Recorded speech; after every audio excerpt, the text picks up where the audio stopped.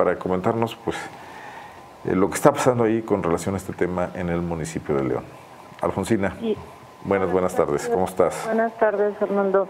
Sí, como bien comentas, la Contraloría Municipal informó la, el expediente que expone pues el conflicto, el supuesto conflicto de intereses de, Pedro González, el presidente del Consejo Directivo de Zapal.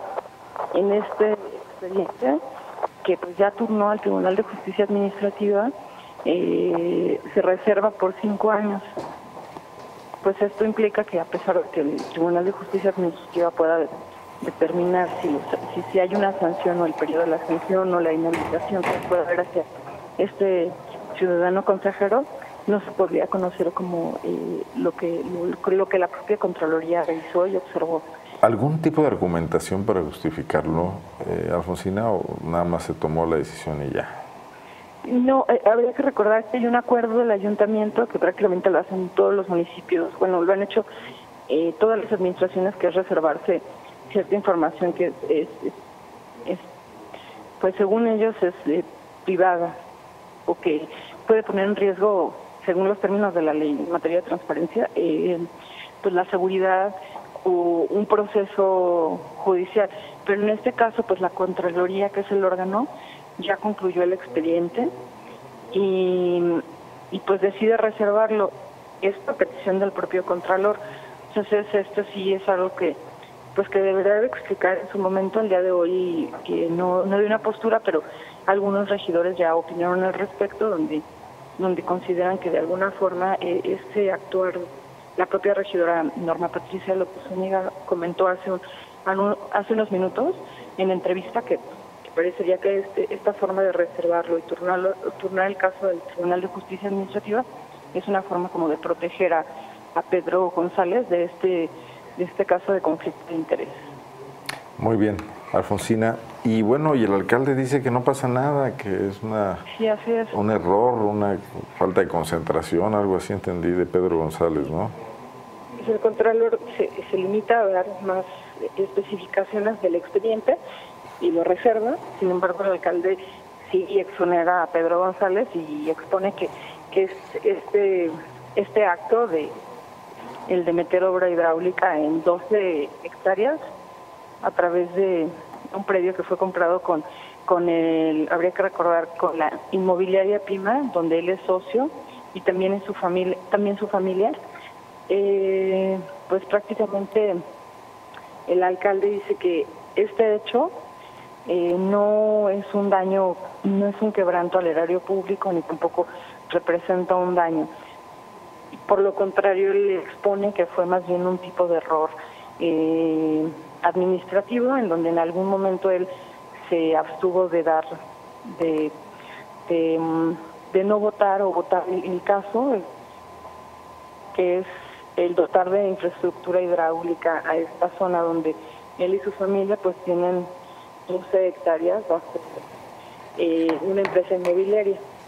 Lo que sí cabe destacar es que tampoco pues Pedro González expuso en su patrimonial, que todavía queda como pendiente dentro de las leyes actuales en materia de, de, los reglamentos actuales en el municipio más bien, él no manifestó en su 3 de 3, en su relación patrimonial, que pues él tenía este esta inmobiliaria también. Muy bien, Alfonsina. ¿Qué prevés que pase aquí? ¿Que ya el municipio se lavó las manos con el tema y todo queda en manos del Tribunal de Justicia Administrativa? Pues habrá que pues esperar la, determinación del nuevo de la sala y ver en qué términos deciden esto. Correcto. Vamos a escuchar la declaración del alcalde. Correcto, vamos a escucharla, me parece muy importante, sí.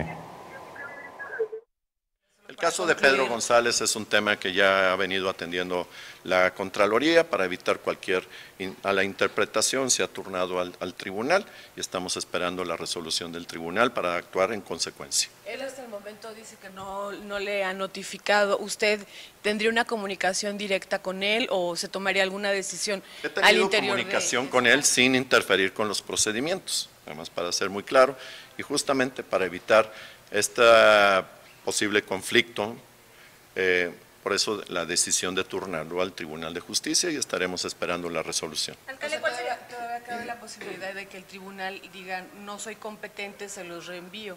Bueno, si esa fuera la situación como se analizaba en otro caso aquí en el ayuntamiento y no lo regresa, entonces ya con plenitud nosotros lo atenderemos. Para finalizar el proceso, ¿ustedes le pedirían a él que eh, dejara la presidencia? Cuando tengamos las resoluciones podría atender con mucho gusto. O sea, ya, ya, tendría, usted decidiría sobre la permanencia de Pedro González en pero vamos a dar oportunidad, ya saben que no me gusta entrar en, especulaciones, conforme pues se vayan dando las situaciones iremos tomando pues las decisiones. llamado a los consejeros este, ciudadanos que, bueno, muchas veces este, pues tienen que tomar decisiones que puede haber ahí conflicto de intereses. Sí, ese es un tema, mucho y sirva de ejemplo. Yo con la información que tengo hasta ahorita, no hay ni daño patrimonial, ni hay un beneficio personal. Lo que sucedió en el Consejo de Zapal fue un error de procedimiento administrativo. Entonces, el, llamado, lo que hemos venido haciendo con todos los consejeros es que cuando haya un tema que vaya a ser aprobado en la comisión, en donde ellos tengan un interés, se excusen, como lo hacemos aquí en sesiones de ayuntamiento, y eso evita malas interpretaciones. Bueno, Alfonsina, pero a ver, el alcalde aquí dice que no hay beneficio personal. Es, es clarísimo el beneficio personal. Hoy los predios de Pedro González ahí tienen un mejor valor porque ahora ya tienen servicios. Sí, así es. Eh, como lo marca el artículo 47 de la Ley de Responsabilidades para los Servidores Públicos, indica que cualquier servidor público que se vea beneficiado con económica, familiarmente y empresarialmente, pues sí es objeto de pues una sanción. Este es el caso de del consejero presidente Pedro González. Entonces sí eh, parece que pues, el alcalde lo está exonerando a pesar del propio de la propia resolución que emite la Contraloría. Entonces Sí, hay muchos temas que ver, ¿no? Habría que ver si esa comunidad era prioritaria o si no se dejó de lado a otras comunidades quizás con mayor grado de marginación a las cuales les hubiera causado un impacto más y a gente además con, con otra situación que ir a meter el drenaje a un fraccionamiento campestre que si bien está en una comunidad rural pues también hay lotes ahí que de gentes que pueden pagar perfectamente sus servicios, ¿no? Sí, sí, habría que habría que recordar que esta, este este fraccionamiento campestre pues solo está integrado por 150 comunidad, 150 habitantes en esta comunidad y no era de uno de los objetivos principales. Son fincas de descanso, son fincas de recreo, con albercas, algunas de ellas. Sí, algunas tienen pues albercas. Bueno, y, y, Pedro González no solamente debió excusarse, debió informar al consejo que ahí tenía el propiedades, ¿no? Lo debió de haber informado y lo debió de haber eh, manifestado dentro de su patrimonial, que es la 3 de 3, y nunca manifestó el que tenía explícitamente terrenos en ese, en ese espacio. Y ya con algo más de decencia tenía que haber dicho que él pagaba su parte en esa obra, ¿no? Sí, claro. Bueno, porque Zapal Rural no es un programa creado para beneficiar a fincas de, descanso campestres. Bueno. Y habría que recordar que hace justo cuando el Contralor, que fue el martes de la semana pasada, comentó eh, de este tema, de que ya se había turnado el expediente al Tribunal de Justicia Administrativa, el, el señor Pedro González informó, dio una pequeña entrevista al, al periódico AM donde comentó él que donde sostenía que él no tenía ningún tipo de conflicto de intereses y que hasta la fecha no se le había notificado. Bueno, pues eso simplemente se llama cinismo.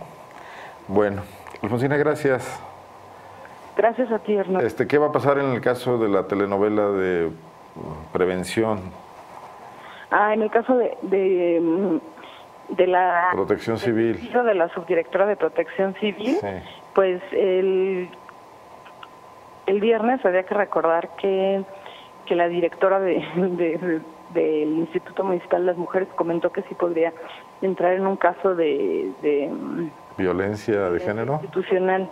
Eh, la, la funcionaria despedida, pues eh, dio una entrevista al, al, Sol de León, al periódico El Sol de León, en donde ella manifestó que pues no tenía, no, no fue informada en su caso y que tampoco se le, se le comentó, se le comentó de, de esta baja. Entonces, Eh, ella manifiesta que nunca se le informó de, su separación del cargo y el día de hoy eh, el director, Sergio Campo, comentó que, que efectivamente hasta el día de hoy se le se le notificó de manera formal a esta servidora pública.